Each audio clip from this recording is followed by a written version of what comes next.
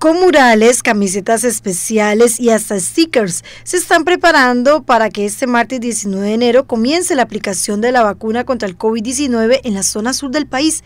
Será a las 9 de la mañana que inicie en todos los cantones de la región y de manera simultánea. Hoy estamos muy contentos porque la región Brunca en este momento, como ustedes pueden apreciar, estamos recibiendo las primeras dosis de la vacuna COVID que se va a iniciar a aplicar a partir de mañana a las 9 de la mañana en todas nuestras unidades. Nuestros seis hospitales y nuestras, eh, nuestros cinco hospitales y las seis áreas de salud en forma simultánea, todos a las 9 de la mañana, vamos a iniciar la vacunación con personal de primera línea vigilancia epidemiológica que hacer la visita al campo a nuestros usuarios, eh, los que están en, emergencia, que reciben los pacientes, los que atienden pacientes COVID.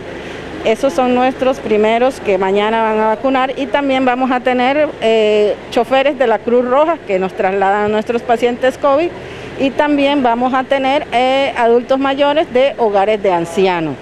Eh, simultáneamente todo eso va a ser a las 9 de la mañana, todos ya ellos ya están organizados, eh, tienen murales, algunos son muy creativos, tienen hasta unas camisetas que se han hecho, unos stickers, de manera de estimular no solo a los funcionarios, sino a la población en general, a que en el momento que le corresponda la vacuna asista cuando se le indique. Ya tienen una planificación con listas de los funcionarios de primera línea que se van a vacunar. Nosotros tenemos una micro planificación a nivel, de, a nivel local, todos ellos tienen ya la lista de los funcionarios de primera línea que tienen que vacunar. Recordemos que también en cada una de nuestras unidades tenemos compañeros que han sido COVID positivos y ellos tienen que esperar los 90 días estamos haciendo eh, lo que dice el manual de procedimiento, primero los de primera línea. Entonces ya ellos tienen la lista de los funcionarios que van a vacunar a partir de mañana, martes, miércoles, jueves y viernes.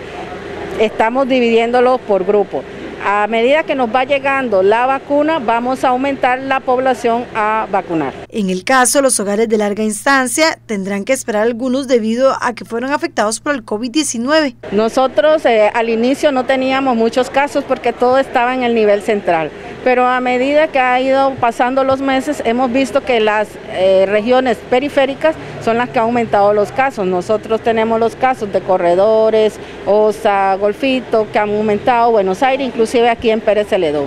Para nosotros esto es una garantía de la salud que ofrece el país de Costa Rica a todos los que vivimos aquí, seamos nacionales o extranjeros, y que estamos en una forma legal en el país una de las condiciones para que puedan ser vacunados también las personas. Eso también es muy importante que la población lo sepa. Vamos a iniciar con nuestros adultos mayores de nuestros hogares de ancianos.